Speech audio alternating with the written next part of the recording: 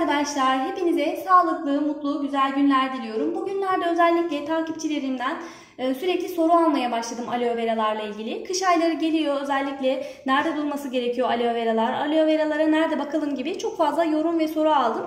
O yüzden bugün e, kısaca böyle bilgiler paylaşmak istiyorum sizlerle. Daha önceki videolarımda görmüşsünüzdür. Küçücük bir saksı dolusu aloe veram vardı ama gördüğünüz gibi şimdi o kadar çok çoğalttım ki e, artık böyle sığmamaya başladı. Aloe veralar çok fazla çoğalır arkadaşlar. Oldukça arsız bitkilerdir.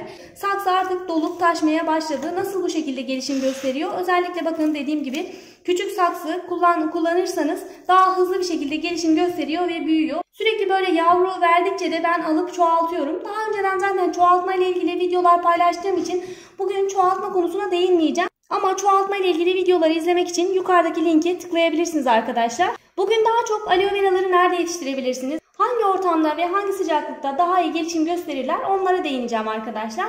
Artık kış ayları geliyor. Kış aylarında aloe veralara nerede bakmanız gerekiyor? Kış aylarında da iklimden çok fazla etkilenmez aloe veralar.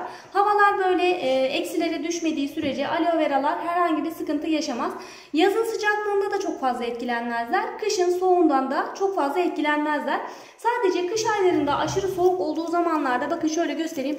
Ya dallarında böyle yapraklarının jelinde çekilmeler biraz meydana gelebilir ama bu herhangi bir sorun teşkil etmez. Zamanla zaten kendiliğinden düzelir ve e, normal eski halini alırlar. Yaz aylarında da özellikle aşırı sıcaklarda yapraklarında jelinde çekilmeler meydana gelebilir. Bunun yanı sıra aşırı soğuk ve aşırı sıcaklarda mesela çok fazla güneşte kaldığında veya çok fazla soğukta kaldığında yaprakları böyle kırmızımsı bir halde alabilir. Dalları böyle kırmızı bir e, şekilde de bürünebilir ama bu da sizi korkutmasın. Normal bir ortama aldığınızda ya da hava sıcaklıkları normal haline geldiğinde yine eski halini alacaktır. Aloe veralar dediğim gibi çok arsız bitkiler ama yine de yetiştirme konusunda sıkıntı yaşayanlar var. Özellikle bunlar da e, çok fazla sulamadan kaynaklanıyor arkadaşlar. Çok fazla sularsanız köklerde çürümeler meydana geliyor. O yüzden aloe veralar gelişim gösteremeden, yavrular oluşturamadan çürüyebiliyor. O yüzden çok fazla sulamamanızı özellikle tavsiye ederim. Aloe vera'nın farklı türleri var. Bakın şunu da göstereyim. Bu da dikenli olan aloe vera'nın türü ve bu çiçek de açıyor. Şöyle göstereyim. Bakın tomurcuk oluşturdu. Yakında çiçek açacak. Bu soğuktan hiçbir şekilde etkilenmiyor arkadaşlar. Yaz olsun, kış olsun, yazın sıcağından da, soğuğundan, kışın soğuğundan da hiçbir şekilde etkilenmez. Bunu özellikle park ve bahçelerde çok fazla kullanıyor belediyeler ve siteler. Bunu genellikle böyle park ve bahçelerde çok fazla kullanıyor. Yetiştirmesi oldukça kolay. Zaten aloe veralar dediğim gibi çok arsız bitkiler olduğu için bir kere diktiğinizde çok fazla büyüyor ve gelişim gösteriyor. Ama özellikle küçük saksı kullanmanızı tavsiye ederim. Bakın küçük saksıda olduğu sürece daha hızlı bir şekilde gelişim gösteriyor. Ben genellikle mesela çok fazla çoğaldı diyelim. Şunun içinde bakın bir sürü yavru oluşmuş. Bunları mesela böyle çekiyorum arkadaşlar. Şöyle dalları. Bunu iyice suluyorum. Suladıktan sonra bakın şöyle çekiyorum.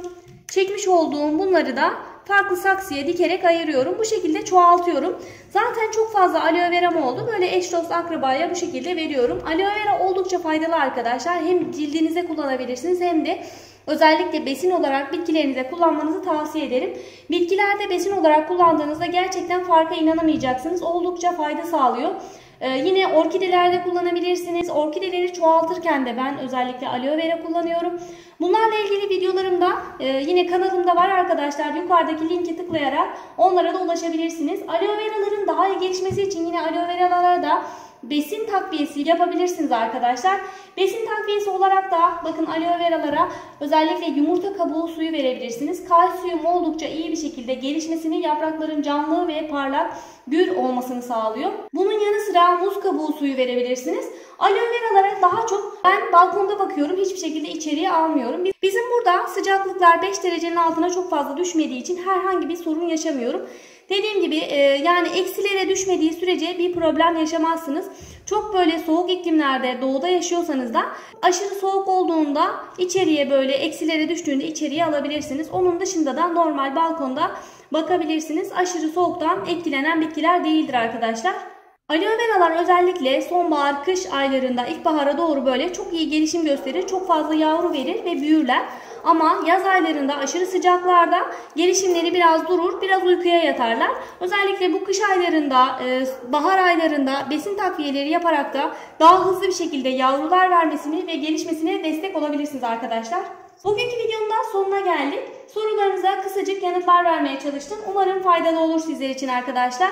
Beril'in Hünerleri YouTube kanalında yeni videolarda görüşmek üzere. Şimdilik hoşçakalın.